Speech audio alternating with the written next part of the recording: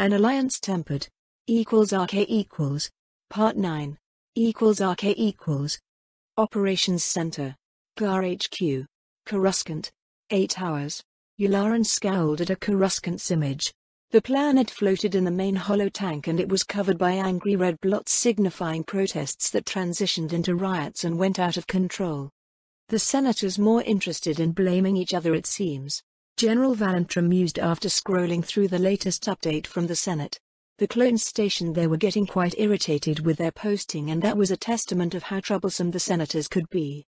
Officially Talar was the one loyalist remaining in GAR and hopefully that would leave one competent officer in charge if the quasi-coup didn't pan out. Admittedly it was a very thin cover but every little bit might help. They had to break up five fights so far. Valentra shook his head in disbelief. He should know better by now. He knew better than most how politics on Coruscant worked. What happened over the past month was disillusioning even to him. Do we have enough support to make Plan Besh viable? Not yet. Satine was the one to answer. Kamino and what's left from Corellia's allies are in. Anaxes too, if reluctantly. We may sway Serapin too, though their demands are going to be an issue. Tilar winced. Jacking up the prices of the energy they sold to the core worlds was going to cause problems for everyone with the economy being what it was. Cutting their taxes to a third of what they were. Yet what was the alternative? Invade to secure one of the big energy providers for the core? There weren't many alternatives to get enough cheap energy. The cheap part was the rubbing point. Oh, there were alternatives, though they usually required substantial investments and time.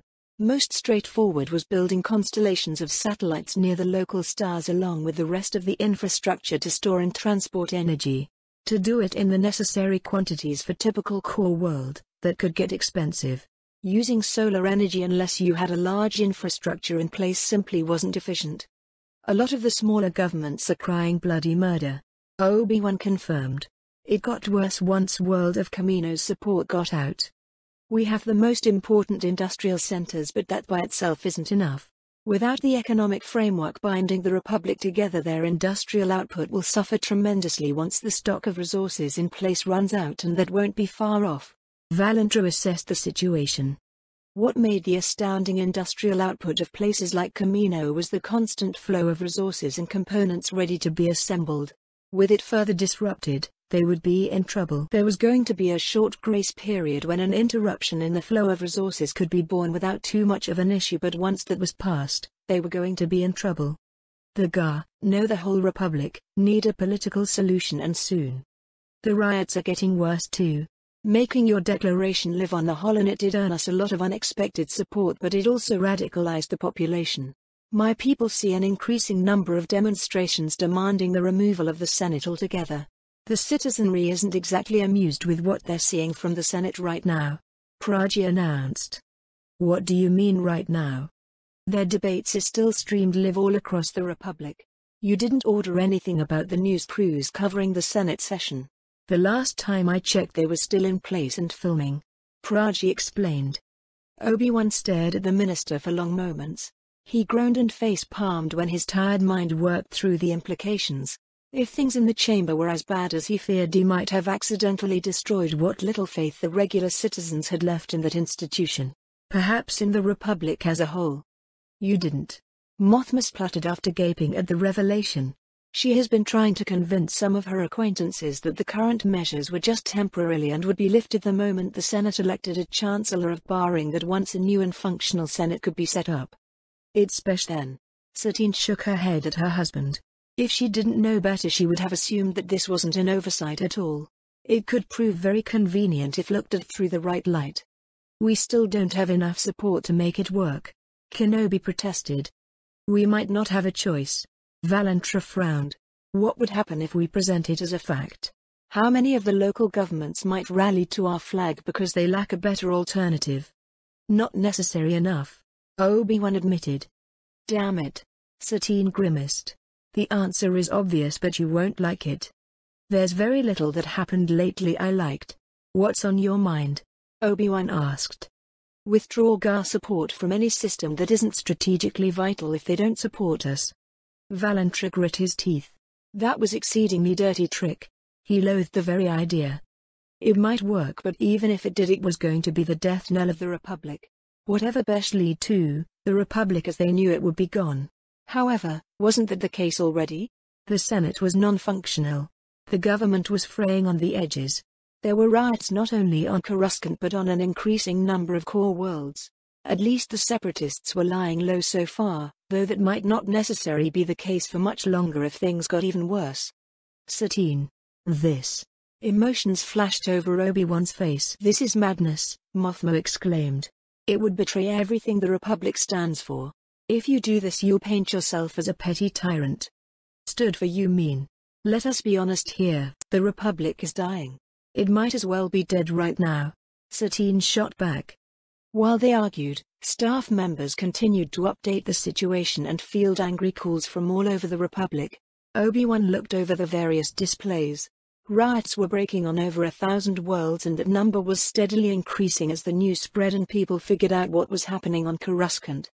There were demands to oppose the perceived coup, others gleefully endorsed it in hopes of gaining power or that someone would finally clean up the corruption on Coruscant. There were the usually malcontents using the chaos to cause trouble. The Senate sounded like they were more divided than ever even if they had a unifying cause to get behind, their hatred of Obi-Wan. The Republic we swore to protect is gone. Kenobi's voice was a torn whisper. There's merely a rotting carcass in its place and the only thing we could do now is put it out of its misery and build something better in its place. When it came that realization and admission was surprisingly easy to make. Too easy and Obi-Wan hated them for it. Inform the media that I'll make an announcement in one hour. Get on the com with our allies and give them heads up. Make sure that the most important governments who aren't yet on board are aware of the consequences if they decide to go their own way. Besh is a go. Why was so easy to deliver the coup de grace to the Republic? All he felt right then was sadness and relief. Equals RK equals. Amidala's apartment. Republica 500. Coruscant. Anakin Skywalker was stuck under house arrest. There was a whole company of clones in the building with two more deployed at the ground levels. They weren't actually there to keep him contained, no that was strictly secondary. Their job was to keep protesters and the media away. They were mostly successful too, so far. The last loyal Jedi on Coruscant sat on the sofa and stared at the news in stunned disbelief. Halcyon droned on and on as GNN showed what was happening in the Senate. This was what Palpatine had to deal with on a daily basis since Anakin knew him. His respect for the Chancellor rose even further. The man somehow could make that pack of vermin actually work for the benefit of the Republic, though Skywalker would never know how. Anakin knew that Padme and Obi-Wan were getting desperate and might have to do something distasteful to make the Senate do their damn jobs. When this mess began, Skywalker was actually gleeful. Locking in the Hutt spawns until they elected a chancellor? That was a masterful stroke. Their attempt to fire Obi-Wan was quite amusing too. What followed in the next hours was less so. Coruscant interrupted. If GNN and the other news agencies knew what they were talking about, the same was happening all over the Republic. It was sheer madness. Why were people rioting in support of the Senate after they saw how little those politicians cared about anyone but themselves? He could understand those who wanted the Senate removed. He could emphasize with their point of view. But the others? Just, why? As the hours passed and the situation deteriorated, Anakin kept stewing in an ever-growing frustration. There were more and more statements of governments condemning Kenobi's coup, he was helpless to do anything and that was infuriating. Didn't those people see what was happening on Coruscant for more than a month now? Didn't they understand that the Republic needed a strong leadership to win the war and eradicate the corruption uncovered by Palpatine? Or were most of those opposed to Obi-Wan's actions actually on it and afraid what a working, honest Republic government would mean for them? Anakin narrowed his eyes at the screen. That actually made sense. Did the rot spread further than even Palpatine feared? The Senate, they weren't the real problem but the symptom. That revelation sneaked on Skywalker as the struggle to understand why so many governments chose to oppose the one group who was doing something about the war and the mess that was the current situation. As he thought about it, that idea became more and more plausible. Anakin hoped that Padme and Obi-Wan had good plans in place to bring justice, security and stability to the Republic. It looked like he would figure it out soon along with the rest of the galaxy it seemed because GNN announced that Kenobi would be making a statement soon. Equals RK equals. Part 10. Equals RK equals. Senate Building. Coruscant. Obi-Wan stood on the platform overseeing the large plaza next to the Senate. That was the same place where the GAR rallied and prepared for deployment across the galaxy after First Geonosis, something that felt like an eternity ago. Behind him stood his wife and all his political allies who were present on Coruscant. Yet, Obi-Wan felt alone. He could see at least a million people demonstrating and rioting below. Whole clone divisions were deployed to strengthen the tin cordon of Coruscant security personnel struggling to hold the line. Such scenes unfolded across the whole Republic and it was his fault. He set these events in motion, yet Obi-Wan wasn't even sure that he was doing the right thing, merely that all the other options he had left were worse. How could he lead when he lacked conviction? How could persuade the trillions on Coruscant alone that they should support him when he himself had doubts? The only answer Kenobi had was simple, because he had to. It was his duty and that along with Satine was all he had left in the galaxy. Obi-Wan gave himself an hour to gather his courage and make a peace with himself as well as he could as much as it was meant to give time for his allies across the Republic to prepare.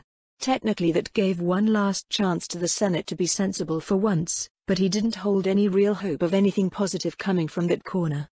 Now, time finally ran out. Kenobi was still doubtful. His consciences continued to plague him. 30 seconds and you'll live, General. A GNN reporter gave him a thumbs up. Thank you. Obi-Wan answered on autopilot. Kenobi braced himself. There was no more time, nor place for doubt. There could be no turning back now. Doing so would be as much a disaster as an outright failure at what was to come, perhaps even worse. He had to make everyone listen and understand, not to oppose his efforts. Support would be preferable if not agreement. Obi-Wan went to the last ally he had left, the one that was beside him since his birth. The Force sang around him as he surrendered to her.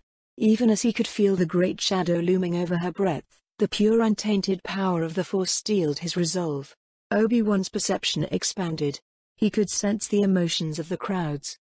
Their fears, hopes and anger. Their frustrations and despair. The pain they felt, it was like a tangible cloud of depression clung to Coruscant and he was merely scratching the surface. Determination filled Obi-Wan's heart. This couldn't stand. He had to change it before he succumbed to. The GNN man gave him the agreed signal. It was on. My fellow citizens of the Republic, I wish I could address you at a better time. Kenobi began in a solemn tone. The Force was his guide and that gave him hope he wouldn't craft up at this most important time. It's been almost six weeks since the Jedi coup. For that long the Senate debated, argued over petty squabbles, maneuvered for power while the Republic tethers on the edge of oblivion. They risk the fruits of a golden age for personal gain. I say no more. Kenobi's voice carried around the Senate building, over the airwaves and the holonet.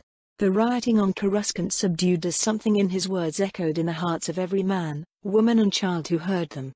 People turned to look at the closest source of Holonet news to see the general speaking to them and they had no doubt he was talking to them and not some distant politicians hidden behind cordons of scared guards. For years, the Senate proved again and again that it was not up to the task to safeguard your interests. People tell me that really wasn't its role. They point out that the senators are sent here to represent the interests of their home worlds. They tell me that the Senate was built from the ground up to limit the ability of the Republic to meddle in the affairs of its individual members. Obi-Wan paused and looked into the cameras with earnest, determined eyes. For the people who watched that broadcast live, it felt he examined their very souls. Recent events proved them right. I don't see a Senate concerned with the future of the Republic. Neither one who cares about its citizens. I see small-minded people who risk us all to maintain their own power and importance. Their inactions keeps the Grand Army of the Republic paralyzed for more than a month now. If it wasn't for enemy logistics difficulties, this criminal behavior would have seen more of the core fall prey to the separatists.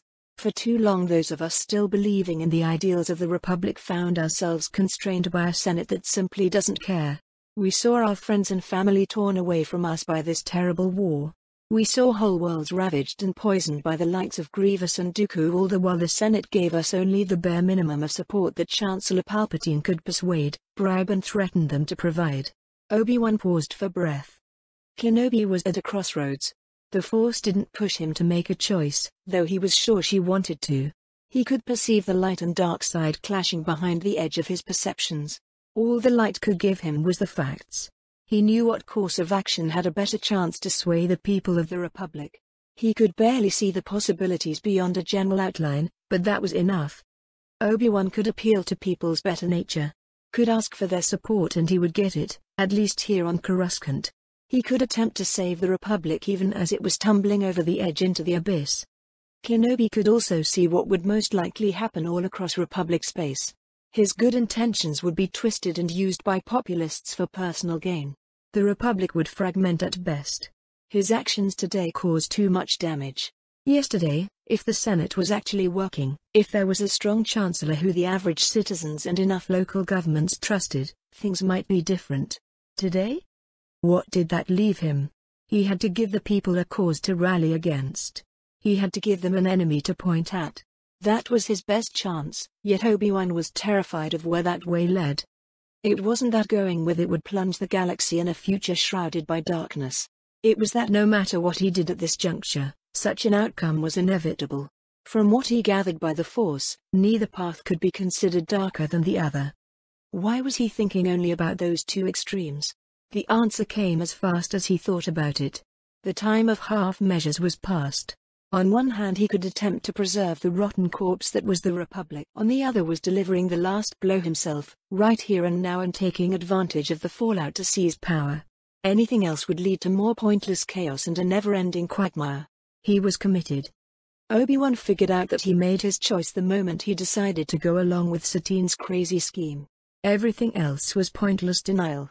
He was sure Vael would be laughing his ass off when he learned that Obi-Wan went with his suggestion from back on Mandalore. As the Supreme Commander of the Republic military, I will tell you the sad truth. It was mere good fortune that allowed us to survive the first critical months of this war. It was the sacrifices of countless heroes from all over the Republic and beyond that gave us the successes that pushed the enemy back. And it was the negligence of the Senate over the previous centuries that saw the Republic unable to properly defend itself. It was the lack of that support that still means we lack the ships and people to protect the whole Republic. It was because of that treachery that we had to abandon thousands of star systems to the enemy or risk the collapse of our war effort. And finally, it was the Senate's endless debates that gave enough time for Admiral Trench to secure four of the five brothers at Corellia. It was their corrupt ways that still give the enemy yet more time to dug in and make our liberation of the core and test of the Republic a needlessly bloody affair. Obi-Wan could experience the effect his words had on the people gathered below him. Their anger grew and grew. Now it had a clear focus. He hated himself for doing this. He loathed the fact that the brush of their emotions gave him a small but very real amount of joy. Yet, he continued. The Senate proved itself worse than useless. It is now a clear detriment for the Republic and the war effort. This my friends, cannot be allowed to stand. Ten years ago, the then Queen Amidala believed that it was merely a question of leadership. She was right at the time, since his election Chancellor Palpatine proved himself as the most capable and devoted man to hold the office in centuries. Obi-Wan looked down sadly. It was a grave tragedy that his life was cut short. His death deprived the Republic of her greatest servant, for Sheev Palpatine was its last and best hope. More quietly he added, sadly, I am no Chancellor Palpatine. Persuading the Senate to do their job proved beyond my capabilities. Yet, I can't allow such a failure to deter me. I still have my duty to you, the people of the Republic.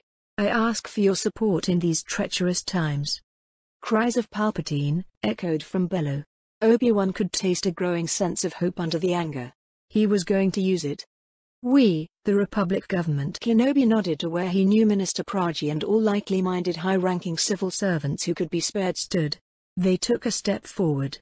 Those senators who recognize that the Senate is no longer capable to execute its functions, now it was time for Bail Organa, Padme Amidala, Mon Mothma and their allies to step closer, and the armed forces of the Republic, Admiral Yularen and General Valentra accompanied by a small crowd of colonels and starship captains were next to rise up to the occasion, along with many local governments, Kuat, Corellia, Anaxes, Serapin, the systems collectively represented by the Midrim Alliance along with many others, have a declaration to make. All across Coruscant the rioting paused. Obi-Wan's words had a hypnotic effect and those who listened to him knew that something momentous was about to happen. We declare the Republic Senate dissolved. Its functions will be taken by a body of representatives appointed by the local governments for the duration of the Clone Wars and new elections will be held after the conflict's resolution. The first session of that body will take place tonight and their only agenda will be the election of a chancellor. Those governments unable to appoint a representative for this body in such a short amount of time will be represented for this session by their government leaders using the holonet as a means to communicating their vote. Relief and hope blossomed, displacing a lot of the anger, though it continued to burn brightly in a tremendous number of hearts. The emotions Obi-Wan felt were enough to make him drunk with power. He had to struggle to keep his mind mostly clear. His speech wasn't over yet. Kenobi for Chancellor, someone shouted. The crowd below the Senate paused, while they considered the idea. Then more and more people picked up the cry. What Obi-Wan felt at that moment as the center for the emotions of millions and soon billions was indescribable. What came next was one of the hardest things he ever did. This sense of power. It went to his head. Walking away from it was all but unthinkable, yet somehow Obi-Wan found the moral fortitude to do it. I will be forever thankful for this sentiment and the trust it represents. However, I will have to decline. I am a general first. The best way I can serve you all is by leading the Grand Army against the Separatists and ensuring that they are neutralized as a threat once and for all. If you want to support someone who has proven their dedication to democracy, peace and the well-being of her people, then please support my wife. Ambassador Satine Kenobi. It was technically illegal for her to be elected Chancellor. Mandalore wasn't a part of the Republic after all. Yet today for an all intents and purposes the Republic died. Obi-Wan just murdered her. Despite what those people supporting him believed, this new Chancellor that would be elected tonight, wasn't going to be a war for the Republic. They would be the leader of a military alliance aimed against the Separatists. Everything else would have to be decided at a later date preferably before what was left of the Republic government ceased to function completely. Lying by omission to that many people made Obi-Wan sick to the core of his soul. They believed in him, trusted that he would save the Republic without realizing that he just destroyed it in front of their eyes. Shattered Union equals RK equals Part 1 equals RK equals The Black Hole Nar Shaddaa. I hope this isn't a waste of time, brother. Darth Maul, the Dark Lord of the Sith barked at his brother. The months after their reunion were frustrating. Maul's recovery thanks to that witch on Dathomir was still a sore spot for him. He owed the infernal woman more than he was willing to admit even to himself and that knowledge burned buried deep within him. She hasn't steered us wrong yet, brother. Savage Opress sat down across the table from Maul and shoved a mug of ale his way. They could barely hear each other without screaming over the music coming from multiple hidden loudspeakers.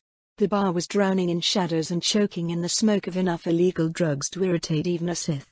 The black hole had earned its name, it was one of the seediest, nastiest places Maul had the misfortune to visit and while he worked for Sidious he had seen some of the greatest hives of scum and villainy in the galaxy.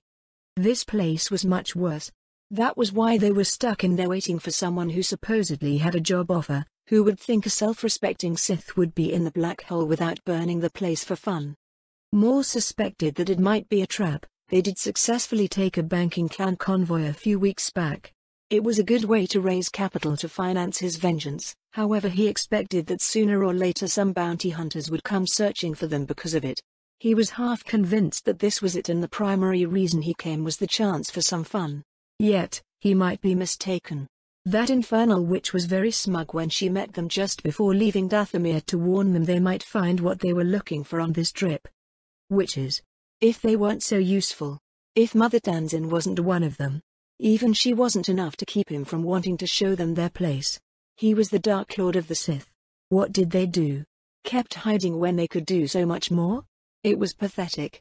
Two armored figures made their way through the crowd, which consisted of half-drunk or high patrons trying to dance or simply stumbling between the tables. It looks like fun, brother. Maul nodded at the approaching figures. Mandalorians, Opress sneered. Bounty hunters? What else? Maul's right hand went for the hilt of his lightsaber. The leader of the two, a man a bit taller than the woman who walked a step behind him, halted a couple of paces from the Sith table and examined them. I expected you to be taller. The man grumbled. I have a job for you. What could a Mandalorian offer me? Maul sneered. Such a clumsy trap. Did that fool think something like this could make him drop his guard? Vengeance. An opportunity to prove yourself against another Sith. The man offered. I want Vael and his horde dead. You want Kenobi. Why would someone like you turn against Mandalore? It was Savage's turn to sneer at the ridiculous claim. He murdered my brother. I can't take him in honorable combat, yet I crave his blood. The Mandalorian offered. Maul was about to laugh and attack, yet he stayed his hand. He could feel no deception from the man. Only anger and hatred. He did laugh at that. The Force was with him and he would have his vengeance. Speak. This better be good. More lauded.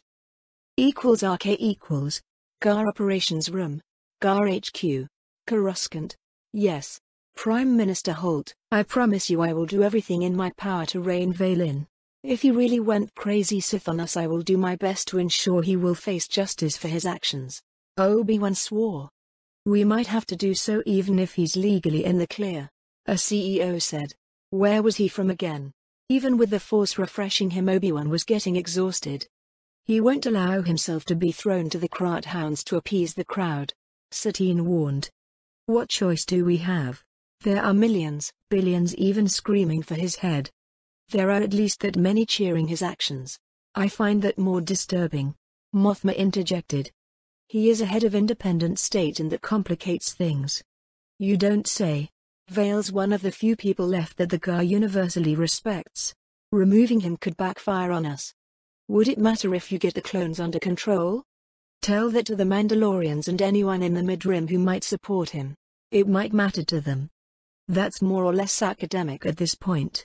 Until he can fight his way to the core or we can reconnect with that part of the Rim we have no way of influencing what he does or doesn't do. Shall we shelf this topic until it becomes relevant? It is relevant. We have to explain to our people what we are going to do about that madman. Tell them the truth, we're investigating and if he's found guilty of whatever he's accused of we'll act accordingly. Satine spoke. In other words, empty promises. What else is new? The man is a war criminal. He needs to answer for his deeds. Mandalore hasn't been found guilty of anything. I know many of my people would argue he went after legitimate targets at Sullust. We know nothing but separatist propaganda about Kamino. Do you think that those worlds in the Mid-Rim, especially Naboo, would work with him unless he had a very good explanation? Satine asked. The man saved them. They were attacked with plague by the separatists.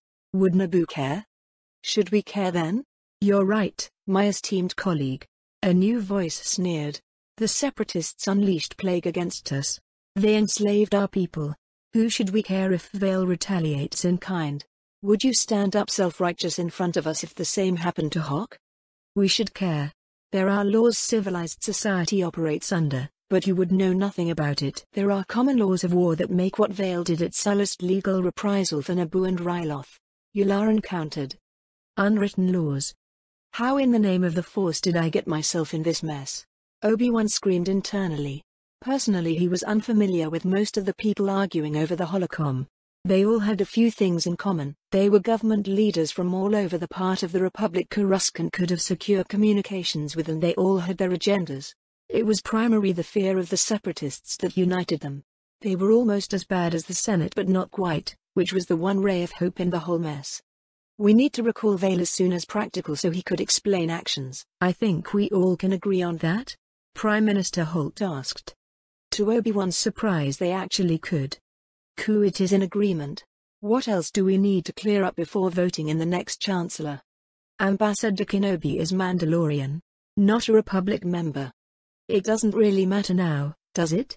It is for us to decide who the next Chancellor is going to be. More arguing followed.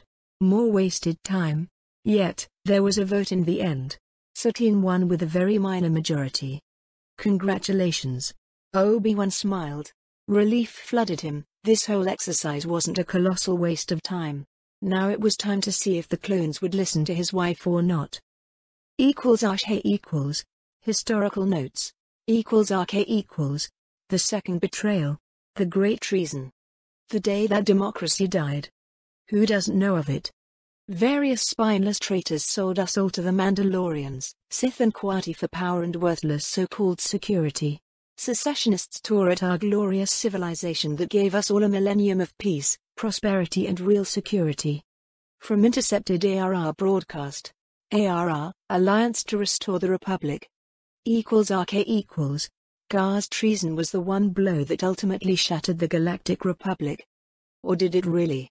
Nowadays people tend to forget that until that faithful day on Coruscant, the military followed lawful orders as they perceived them. Say what you will about the clone legions that made an overwhelming number of the armed forces at the time, however they backed the Galactic Republic until the foundation of the Empire. Certain legions did it even after it happened. When we look at the final years of the Galactic Republic, it becomes obvious that it had major structural problems. It was also clear that Chancellor Palpatine, the last man to lead a whole republic, did his best to fix those issues. His assassination heralded the end of the Galactic Republic as the hegemony presiding over most of the known galaxy. How did it happen? Why? What or who caused what some call the fall of civilization? There are many answers that hold a grain of truth. Many more assumption or even outright lies. At the heart of it, the one issue that doomed the Galactic Republic was the different, often clashing interests of the member nations, especially those in the core. The fall of Corellia heralded a new era. Suddenly, Kuat was the unchallenged industrial hegemon. That single system and the family of the same name that ruled it had unlimited power within reach and practically everyone in the Senate believed that they would grasp for it. This is perhaps the key issue that broke the Galactic Republic, the promise of practically unlimited power, economic, industrial, military, political and most importantly, personal. The fall of the Galactic Republic came in hand with great tragedies, missed opportunities and mistrust that made it all but inevitable. The man often accused by the Empire as the one person who could have saved the Galactic Republic was the same one who was ready to step away from a position of absolute power if he was elected as Chancellor. Senator Danu of Kuat. He was Kuat's candidate for the post. That very fact served to unite friends and enemies alike in fear that he would become a legally empowered dictator with the military, economic and political strength to enforce his rule. Danu's is a tragic tale. Too late people believed that he spoke the truth from the beginning and the last, the best hope of the Republic and democracy slipped away as the Senate argued. The Republic made its decision on who to blame from the beginning too. The Kenobis, one was the commanding general of the GAR, arguably the most powerful man in the Republic after the murder of Chancellor Palpatine. His wife, Satine Kenobi, née Kryze, the then ambassador of Mandalore. Republic loyalists still argue who bears more of the blame. Is it the general who they claim betrayed his oaths and everything he professed to stand for? Or perhaps the foreign ambassador who bribed and threatened her way to power and got herself illegally elected as a chancellor? To this day anyone would be hard-pressed to find out a consensus among the Republic loyalists. Yet, they are still united in hatred in their passion to restore democracy and freedom to the rest of the galaxy. The Fall of Civilization, The Fragmentation of the Galactic Republic by Merkilex. First published by Doran Press Corporation. Equals RK equals. Can you believe this, Druk? Chancellor Ernin Voline snapped. She glared at her colleagues. If any of this leaks to the media I'll know who to blame. No worries there, Iri. Don't Iri me, Aro. Ernin leveled her glare at the interior. Minister, Aro Quayle. The Zabrak frowned at her. I don't like it any more than you do. We agreed, this was our best option. A hollow laugh escaped Ernin's lips. We have to support a damned monster. Because he's good at killing the right people. The Chancellor sneered. I can see where they're coming from. The defense minister raised both hands in a forestalling gesture. I'm not saying that I agree, merely that I understand their reasoning. No wonder the Republic went to hell, Ernin mumbled. What's to understand? A Sith killing people because it's convenient? It's not like the average citizen cares much what happens in the Outer Rim as long as it doesn't directly affect them. We've seen it again and again, all across the core. Quayle pointed out. They have concerns closer to home. So should we. Recording of Fornax's system government meeting. Leaked to GNN by unknown party. Equals RK equals. This is Chancellor Satine Kenobi to all Republic forces. Contingency Order 66 is no longer in effect. All Republic forces in the to follow GAR High Command orders. All Republic forces cut off across the galaxy, you're to evade destruction if at all possible, regroup to previously designated staging areas and ensure the security of Republic worlds in UAO if practical. General Delcatar Vael, You are directed to report to Coruscant ASAP to answer questions over the conduct of your forces at Kamino and Sullust. Record of Chancellor Satine Kryze giving her first official orders to GAR elements across the galaxy, minutes after her controversial election. Equals RK equals. I need more assets to keep that Sith from gaining access to all nearby sectors. If the enemy break through Triton's defenses they will be in striking range of dozens of lightly defended worlds. There was ire in TK 9953's electronic voice. Not happening. We're throwing everything we have at Eriadu and the Sith. We have to break the Republic there and at Naboo. A dull modulated voice responded. The theocrat demands that we bring in additional defenses to secure Triton. I'm receiving an increasing number of demands to garrison the nearby systems. I need more assets. The droid pressed. There are no more assets we can justify releasing to your region of space. Once Vael is neutralized it won't be an issue. If he isn't neutralized? Then you are to hold Triton at all cost. A recording found in declassified CIS archives Shattered Union equals RK equals Part 2 equals RK equals Officer Quarters Republic Cruiser Reconciliation Eriadu was getting a few hours of peaceful sleep that much to ask for? First, there were a few unsettling dreams I couldn't properly recall, just a sense of unease that usually came when some of my past caught up to me at night. Then, my reluctant passenger decided to play moral compass on me. I don't get you. Shaak Ti hissed waspishly in my head. This was getting bothersome. At least now I had just a single force ghost stuck in the dark corners of my mind. While irritating it was a far cry from the last time. I'm not that complicated. I groaned and stretched. Even days later, my body was still recovering from the strain I put on myself back at Sullust. Damn this war, it didn't let me find the time to figure out what was wrong with the Force. At this rate, one of these days I might actually get myself killed in a rather embracing fashion after exhausting myself. Everything I experienced in your memories tells me you loathe slavery, Ti snapped. I most certainly do. I gave her a mental nod. It wasn't like I went out of my way to keep it a secret even in the Empire, much less nowadays. Didn't she had anything better to do than pester me? It was too early to deal with a bothersome Jedi. No, I don't. Ti glared. It was weird experiencing and knowing she did it while stuck in my head. You kept Vetu as a slave when Barras so graciously gave her to you. You had no problem working with the Hutts and just a month ago you enslaved hundreds of thousands at Kamino, Ti snapped. Yes? Is there a question or are you just getting off of irritating me this early in the morning? I grumbled. How? Did she just splutter in my head? I rubbed my forehead in an attempt to forestall a headache. It didn't really work. You really don't get it, do you, Jedi? I groaned aloud in a voice that was thick with exasperation. Because, I could. I believed it served my best interests at the time. I am a Sith and that means I am free from moral constraints, that of society and most importantly, I did my best to send Shaak Ti a mental glare, from my own. How do I explain it in such a way that she could get it if that was even possible? For me my actions were perfectly logical given the information I had available at the time. I knew that other people might not see it that way, though some of the time I wasn't sure why. My best guess was that we saw the world in a very different way. That doesn't make sense. Are you out of your mind? Del pain began throbbing behind my eyes. The dark side gives those who wield her many gifts. It cloaks us in shadows, helps us hide from the world at large. Most importantly, it helps us hide from ourselves. I told her. Yet, even now, you claim you haven't fallen to the dark side. I could taste the bitter accusation in Ti's words. It swarmed outwards from her corner of my mind until it shrouded her presence like a warm cloak. You should know better by now. I'm not a nice man.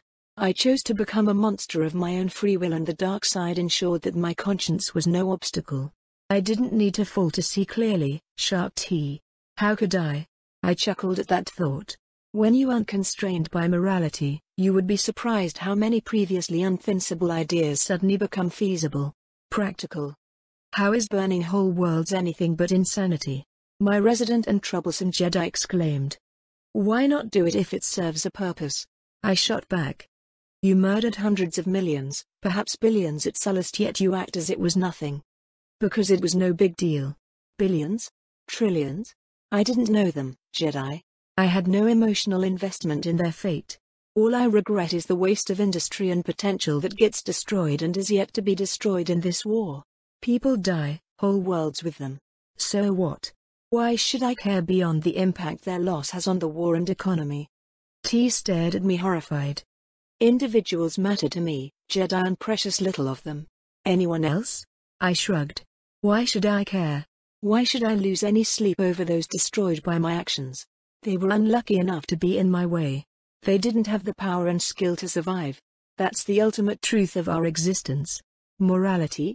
Intentions? Without sufficient power to back them, they mean nothing.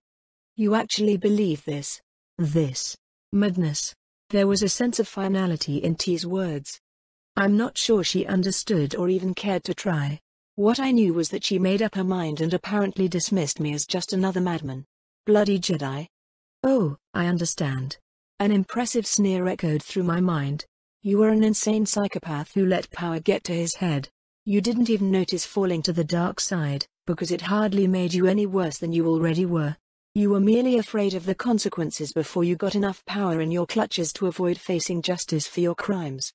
That's certainly one way to look at it. Justice. Right. Do you think I would find a single grain of justice if I shred this whole star system to dust, Shaak Ti?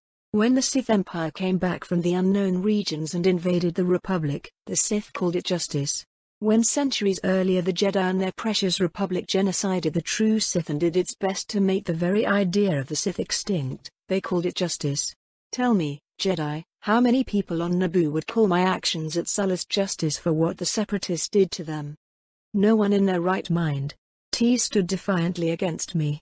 Her ghostly form blazed with determination and wisps of the light side energy that made my headache worse. It's not for you to decide what justice is or if it exists. You aren't judge, jury or executioner. The sheer hubris. Ti shook her head. I pity you, you know. You can't even comprehend how far you've fallen. Not trying to make me redeem myself. I let her bask in my amusement. You, you need to want redemption if you are to have a chance at it and Yuvale would laugh at the very thought. I wonder. If you aren't completely insane, what would have your original thought of you? Trying to play dirty now? It doesn't matter. He would have died at Korriban, fallen at best. It was my time as a soldier for the Eurasian Federation that gave me a chance. Yet, even with that experience, the man who walked out of the Sith Academy wasn't the same who went in. I have many regrets in my life, Jedi. Becoming a Sith, supporting the Empire, those actions aren't among them. Yet you engineered the civil war that destroyed the Sith Empire. Are you blind, a fool or merely willfully ignorant? When did I ever say that I supported the Sith Empire? My allegiance was to the Empire, to the ideal of order it brought. To the soldiers who fought beside me and supported me to the end. To their families and loved ones, because those people mattered to said soldiers. It was that simple. What couldn't she get it? You are such a hypocrite, Ti said it as if it was some grand revelation. Of course I am. The Sith I intend to forge won't be like me. If they are, we will inevitably tear the galaxy apart. Jedi, freedom is wonderful and terrible thing. That is the pinnacle of being a Sith and in the end I will deny it to the Sith order I intend to create. You poor wretched little man, Ti sighed. I'm quite wealthy, as you well know. I shot back. It's funny you know. You Jedi are the ever-present protectors of the Republic, of your valued democracy, yet not of freedom. Not really. Pure disbelieving indignation radiated from Shaak Ti, who was momentarily at loss of words at the accusation. Of course we are, Ti snapped at me. Her composure cracked and the light of the force that made her form shine dimmed. Are you? Where was the order a decade ago when Naboo was invaded? Where were you when your vaunted democracy failed in the Senate? Where were you as the Hutts enslaved billions upon billions? Four thousand years ago the Jedi just stood and watched from their ivory towers. They and the Old Republic even allied with factions among the Hutts when it was convenient. Here we are, thousands of years late and your kind did nothing to change what happens in Hutt space. Look me in the eyes and tell me why. Ti opened her mouth, then closed it and glared at me. Do you think I like it? I've seen slavery, since the war began I've been an accomplice to it. Poison dribbled off Ti's words. I had to train clones so they would go out, fight and die for a cause that isn't theirs, for people who don't give a damn about them. I've been to Hutt Space. I've seen what happens out there. What do you want me to say? That I would want to see all those worms face their just rewards? The Republic was in no state to do anything officially. We are seen as agents of the Republic. Our actions reflect on it. We did as much as we could. When it's convenient. Otherwise, you looked the other way and believed that it was for the best. You had to see the bigger picture. I spoke gently. When the war began you did accept the clone armies without a second thought. We had no choice. Without the clones we would have lost. I know. I smiled. You weren't willing to pay the price for not using a slave army when you needed it, yet you dare judge me for doing the same? I'm not the only hypocrite here, Shaak Ti. I believed that keeping Veto as my slave was in my best interest and wasn't willing to pay the price of releasing her. I believed the same at Kamino. Was it the scale that make you so furious at my actions? The fact that I could keep my conscience from bothering me? Or is it because you and the rest of the Jedi did the same bloody thing? For the best of reasons of course. Whatever lets you sleep easier at night. Don't twist my words. We are nothing alike. The look of indignation on her face was priceless. I don't have to. You know my goals. You saw my memories. I have no problem with you deciding to stand against me and my vision of the future, Shaak Ti. The reasons you decided to do it however, those infuriate me. And to think I decided to show you a modicum of trust before you turned around and stabbed me in the back. Such a waste. You really believe that, don't you? Ti laughed hollowly. The council was right after all, Sith. Your king is a pack of mad dogs and the galaxy would be better without you. That might very well be the case. I am a selfish creature. If the situation warrants it I would watch the galaxy burn around me and I might very well enjoy every moment of it. There isn't a proper word to describe your unique brand of madness in any language I know, nor for your sheer arrogance. Anger throbbed all around Ti making her ethereal form a stunning thing to behold. Compliments will get you nowhere. I was very pleased with myself at how well I got under her shimmering skin. Why the Force saw fit to curse us with you I will never know. What makes you think that the Force is to blame for my presence? I won't take your delusions at face value. Your loss. I drew on the dark side and slammed a pitch-black barrier between us. Hopefully I would get a bit of sleep now. I was just drifting on when the alarms began screaming. Damn it, what went to hell this time? Equals RK equals. Part 3. Equals RK equals. Mandalorian Embassy. Coruscant Satine Kenobi fidgeted, while her sister examined her as if she was something unnatural that just crawled out of a waste disposal bin. You're the new Chancellor of the Galactic Republic. Bo spoke slowly, carefully tasting each word. Yep. Satine nodded. She really should have thought how this scheme would affect her on a personal level. Oh, politically it actually made sense, if barely and in a terribly convoluted way befitting the unholy mess that the Senate made of well everything. The very big, pointedly visible security detail was just the tip of the iceberg.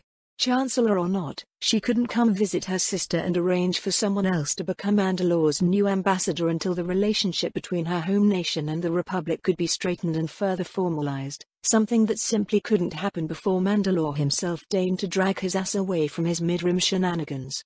After what happened to Palpatine, the Gar was determined not to lose another Chancellor and Satine was pretty sure they were overcompensating and not just because she was their commanding general's wife.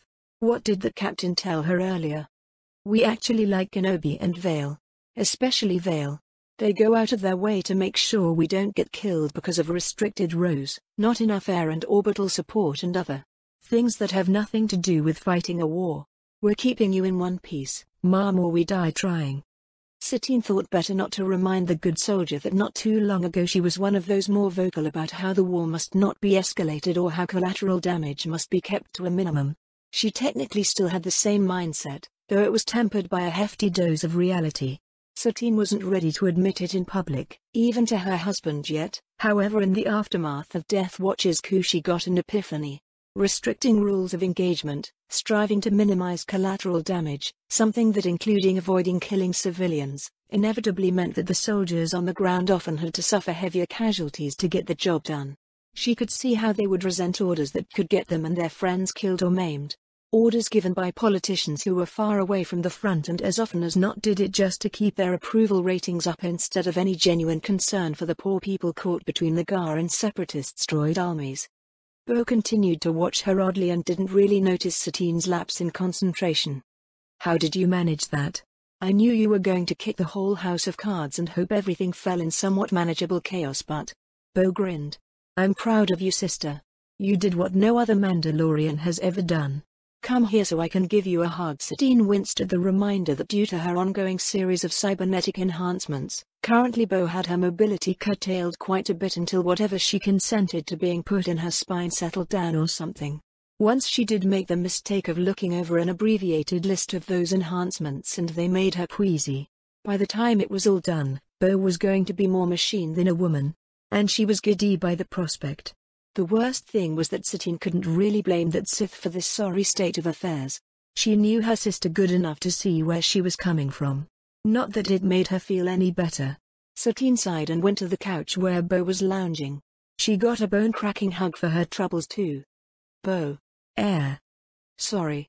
Bo winced, then very gingerly lightly patted her shoulder. My sister. Chancellor of the Republic. How is that working out for you? I didn't really knew what I was getting myself into. Don't repeat that, please. Satine winced. I won't, I promise. That bad? Worse. The Senate is still making trouble. The riots and protests all over the place are yet to stop despite everyone's best efforts. My clandestine election didn't help matters. Not really. Hey, I saw your address. It was quite good, I think. I'm just not sure how well it would go down back home. Bo shrugged. Getting some reinforcements pushed to Mandalore might make up for that. At least most of the clones seem eager to listen. That was the biggest gamble. If the clones didn't accept her as a legitimate chancellor everything would have been for naught. Still, there were a lot of units that didn't. Too many in fact, some on Coruscant too. Obi-Wan had to deal with that and barring a miracle it was going to get very ugly. That's great. When are they leaving? Bo perked up. You aren't going with them even if I have to call the good soldiers keeping me in one piece and have them park a tank on you. You won't be clear to go get yourself shot up anytime soon. Satine glared at her sister. I don't do it on purpose you know. It still happens. Not my fault. Blame the Jedi. She both thought for a moment.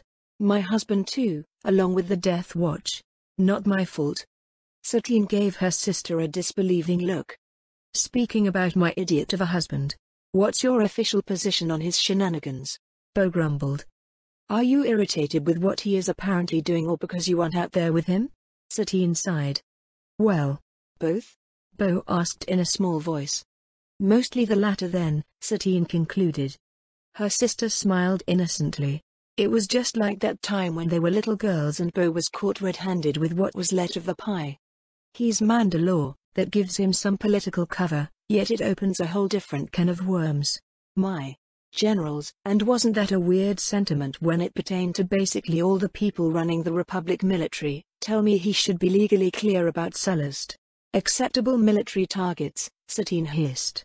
The very thought that this was the military's official position on the matter was unsettling. That Obi-Wan agreed on the legality if not morality of the act was even worse. Satine didn't really want to think about her one attempt to probe the reactions of her security detail on the manor. They were in all the maniacs. Ah, that's good. Bo relaxed. You know there will be trouble in home if you find yourself forced to move against him even for appearance's sake. That possibility hasn't escaped me, Satine admitted. It was one of the big reasons against her taking the position of Chancellor. The possible political entanglements over just Vael's position as the one she owed allegiance were nightmare fuel. However, strictly speaking, she didn't need to be the Chancellor anymore. Not since the moment the majority of the clones in contact actually accepted her authority. In fact, the primary reason why she was actually elected was simple. The moment when they all went along with their scheme, the Republic died. It was now a corpse kept on life support for appearance's sake. Her real job was to facilitate a working alliance against the separatists, continued operation of the most critical Republic institutions and laying down the groundwork for the eventual re-establishing of the Republic or something else to replace it. Preferably without the citizenry at large figuring out what was actually happening. That was one of the reason why she found the time to visit the embassy. It was officially to arrange for her replacement as Mandalorian ambassador so appearances of conflicting interests could be minimized a bit. Seeing Bo was a nice bonus. At least officially. The real reason she came was to take a brief pit stop and see her sister, though no one else needed to know that. Briefly the sisters sat leaning on each other lost in their own thoughts.